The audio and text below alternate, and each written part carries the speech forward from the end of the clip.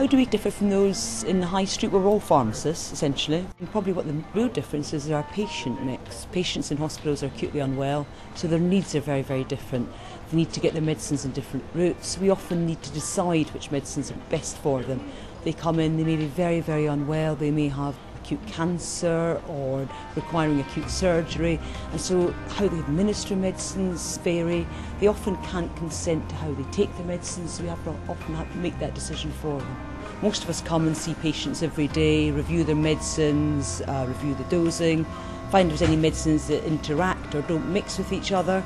It's very helpful having pharmacists on the unit as part, part of our team, especially this winter when we had the swine flu epidemic all over the Christmas period. We were under a lot of pressure. They were very sick patients requiring a lot of medications. The powerful medications we use have substantial side effects and often very narrow therapeutic windows.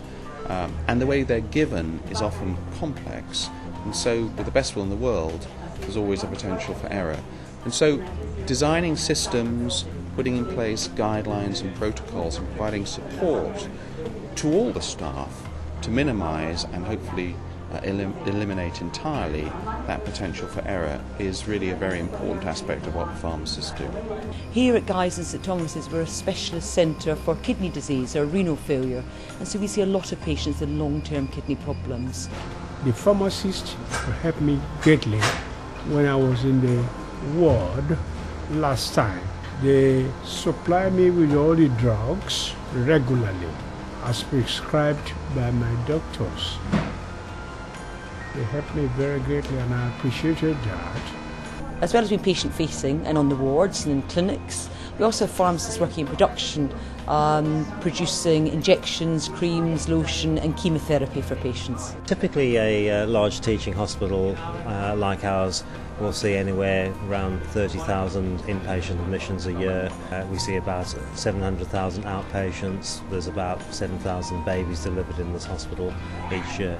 Some patients aren't able to swallow tablets, for example, some very young children or people that have had a stroke and have swallowing difficulties, and therefore we need to give them medicines in either liquid form or injectable form. Children are very different in terms of medicine practice, and it's important that we one, get the doses right, but also get the formulations right for those children. Adults are virtually all the same size, you could argue, and therefore they all get the same dose roughly. They only go from, say, 40 to 120 kilos, therefore only three times difference in weight.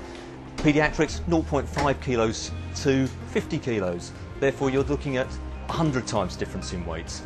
And therefore, it's very, very important that the doses are sorted out so that they actually get the correct dose. Patients can be admitted uh, at any time during the day or the night, and so we provide a 24 hour pharmacy service where there's a pharmacist on site uh, to answer any immediate queries.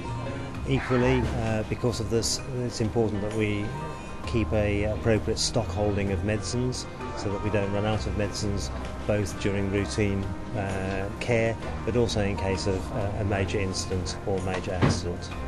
Medicines are the largest health intervention, and pharmacists play a critical role in ensuring the right medicine gets to the right patient at the right time. Pharmacists in our institution work across all areas. They're on the wards looking after children and critically ill patients. We formulate medicine for specific patients. We provide medicines information to patients and our colleagues in the NHS.